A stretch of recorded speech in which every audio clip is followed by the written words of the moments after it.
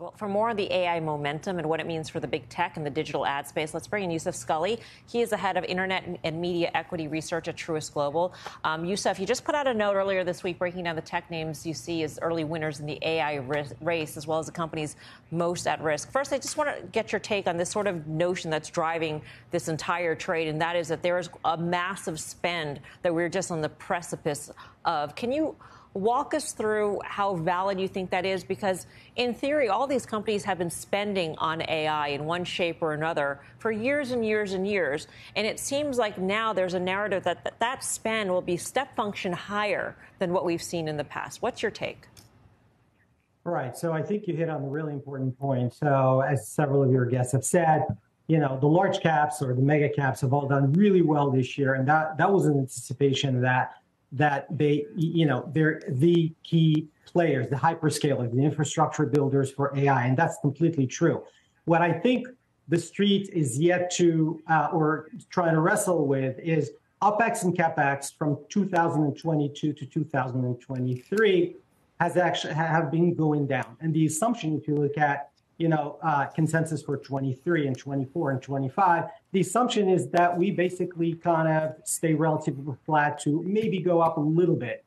Um, I don't think that's necessarily going to be the case because of all of these investments that now need to be um, reflected with all these guys building again the infrastructure. I think they've all cut down on real estate. They've all cut down on kind of pet projects, but AI is really the area where they need to spend and you know and i don't think it was it's necessarily baked into street estimates and i think that's the disconnect at this point how do you how do you put into your model the benefit from AI? And I'm wondering because com- different companies, Microsoft was very specific, I thought, on its earnings call in terms of outlining what they were projecting would be the added benefit when it came to uh, uh, cloud services, et cetera. Very specific in terms of how they thought the, about the benefit. Alphabet, though, seemed a little bit more amorphous. And we know that Alphabet has a lot of AI in it. But how do you think about that in terms of your model and financials? Well, so I think for the cloud guys, it's probably the easiest because we know that as um, these workflows start, you know, materializing and everybody tries to train their own, you know, AI on their own proprietary data, there's just going to be a lot of compute power that's going to be required. And there are only three players there, right? Which you know. But then there's a second derivative there, and that's companies that should or that are going to be leveraging AI for revenue acceleration. And those are, in my mind, company like Uber, company like Wayfair, uh, Trade Desk, uh, DoorDash, et cetera. Um, and that will probably start happening in 2024. It's not going to happen this year.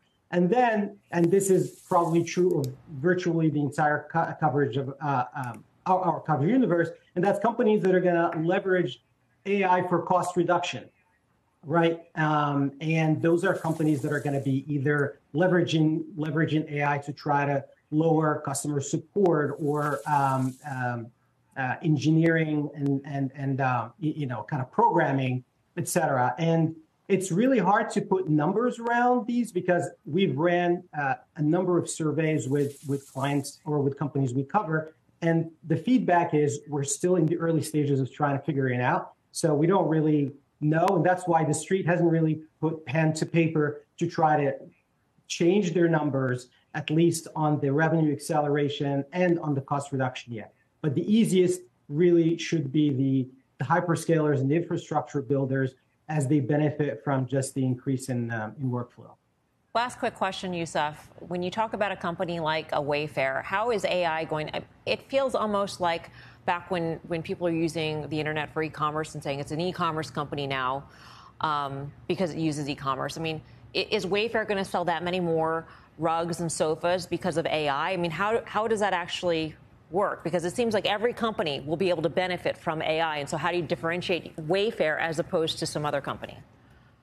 Well, so the way I look at it is any company that relies on search to try to, you know, kind of deliver the right product to the right person at the right time is going to be, you know, leveraging uh, you know the the tremendous amount of data they already have on their customers or the third party data they're buying and they're trying to create lookalike audiences. So the reason wayfair and etsy and doordash and uber are going to benefit is because they're going to one improve their their their their kind of um, uh, marketing to drive higher um, customer um, uh, acquisition and that those customers should one come in at a cheaper coca or cost, cost customer acquisition and stick around late, um, for longer